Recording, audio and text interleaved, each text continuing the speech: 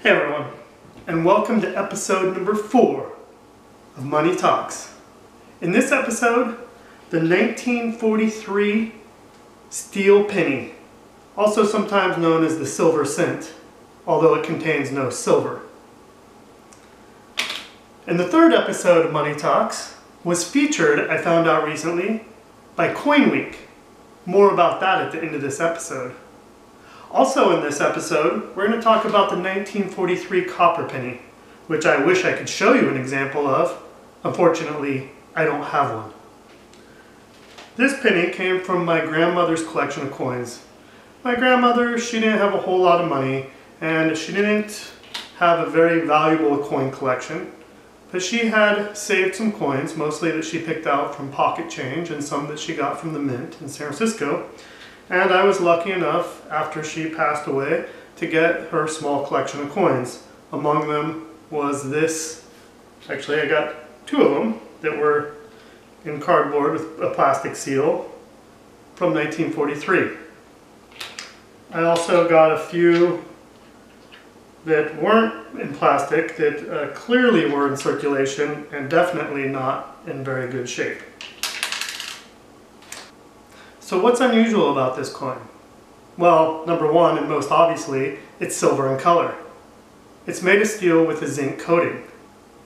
Number two, it's the only regular issue US coin that can be picked up with a magnet.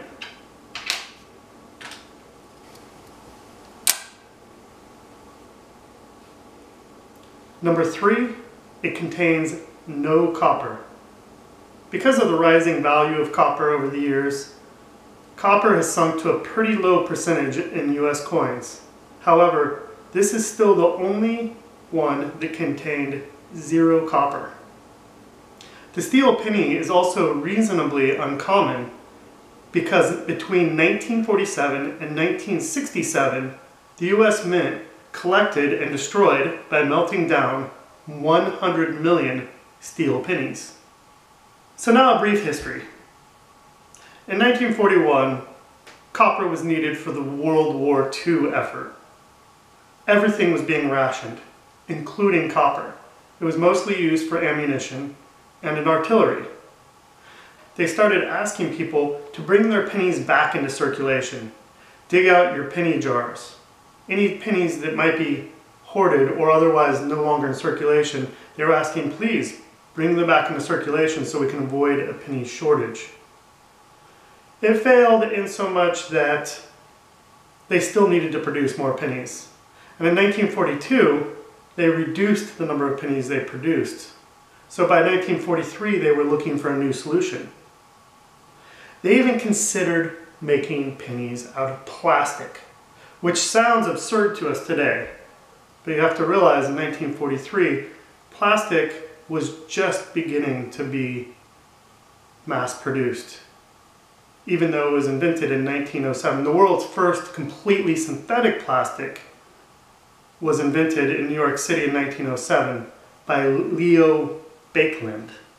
But it was the 40s when it started being mass produced. So it sounds absurd to us today, but it was something that was seriously considered at the time.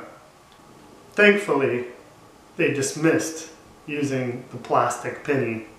Instead, they went with a low carbon content, a low grade steel plated with zinc. They continued to use Victor Brenner's 1909 design, which had, of course, the Lincoln image that we see today on the obverse. And then on the reverse, instead of the Lincoln Memorial, it had wheat with the large letters that say one cent.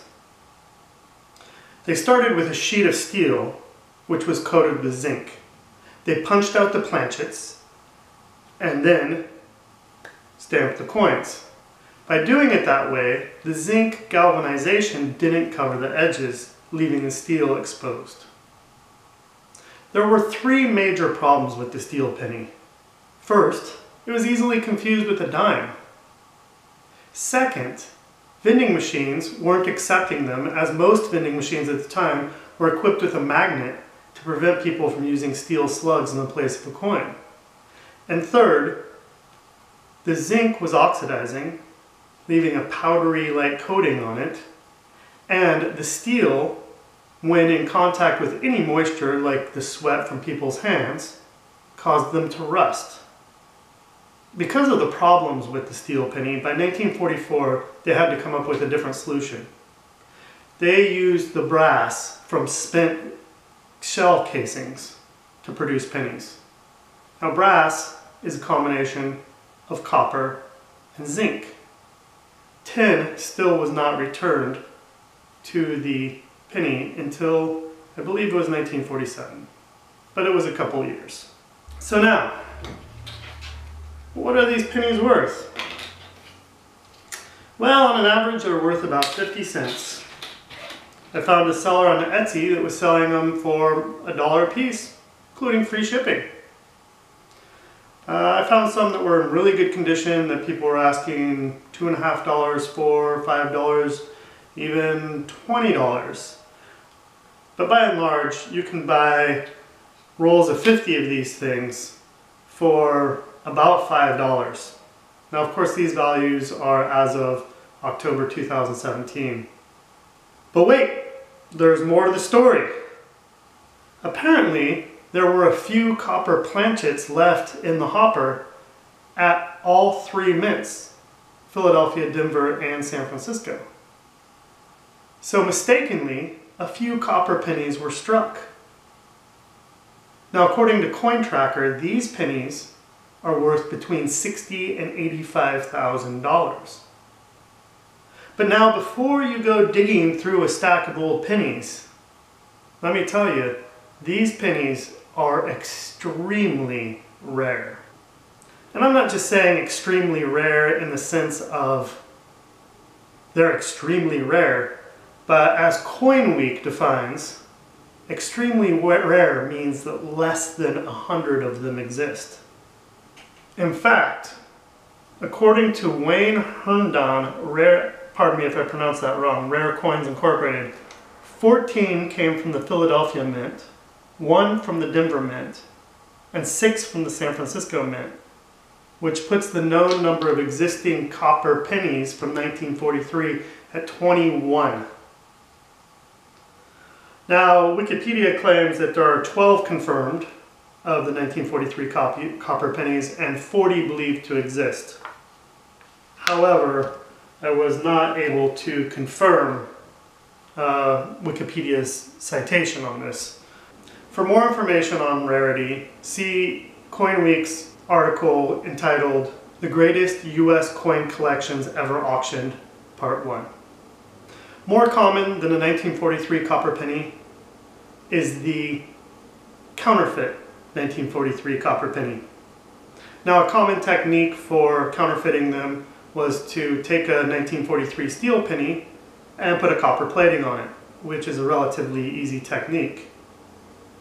The second most common way of counterfeiting a 1943 copper penny was to take a 1948 penny and scrape off part of the 8 so that it looks like a 3.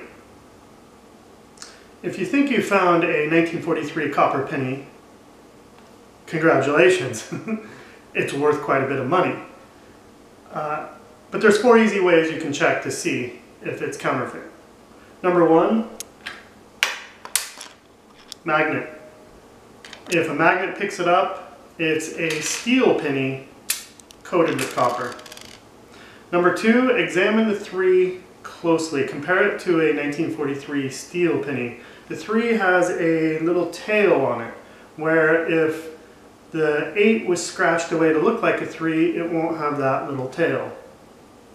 Third, the emboss, the stamp, is much deeper on a 1943 copper penny. The coin presses were set to a higher pressure in order to press into the steel.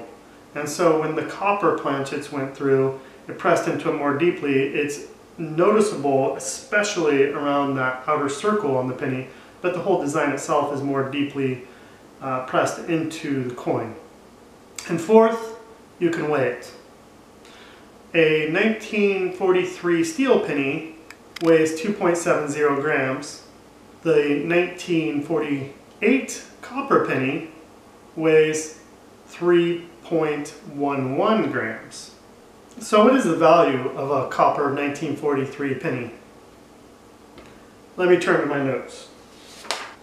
In 1996, a 1940, uh, 1943 Denver minted copper penny was sold by Superior Stamp and Coins for $82,500. In that same year, they sold a San Francisco minted 1943 copper penny for $49,500.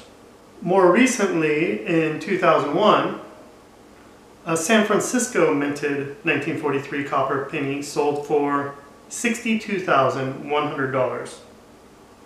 These numbers are how I believe CoinTracker came up with their value for the penny.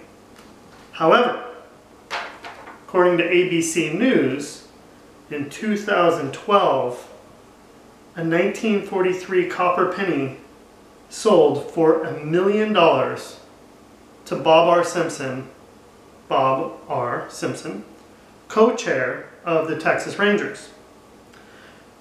The Simpson, the Simpson coin collection then boasted of having a complete set of minted Philadelphia, minted San Francisco, and minted Denver 1943 copper pennies in the collection. Probably the only complete collection of those in the world. In order to do so, they had paid 1.7 million. Bob R. Simpson paid 1.7 million in 2010 for perhaps the only known Denver minted copy, copper penny. Although that's if we believe the other numbers to be true. And just as a footnote, in 1983, the US Mint switched to a zinc penny with a copper veneer. Now, if you made it this far, I promised to tell you at the beginning about my feature in Coin Week. The last episode of Money Talks, episode 3, was filmed in December of 2008, nine years ago nearly.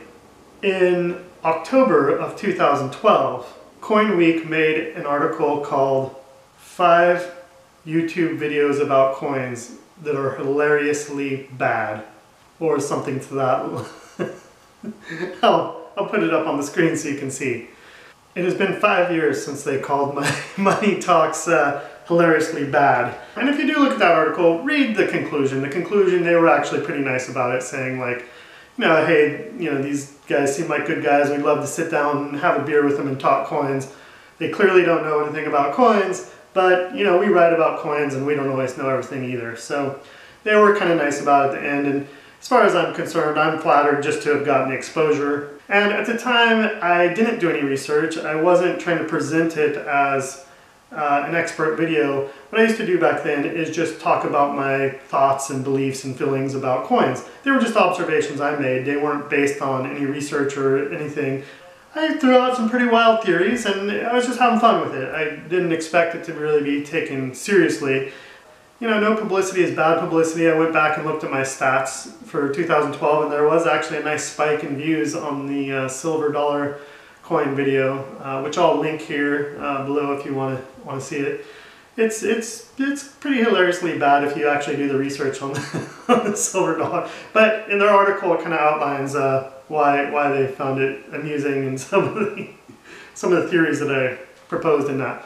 But I will say I'm definitely not a coin expert, but nowadays uh, I do research now before I make YouTube videos. So I did a fair amount of research before I made this video.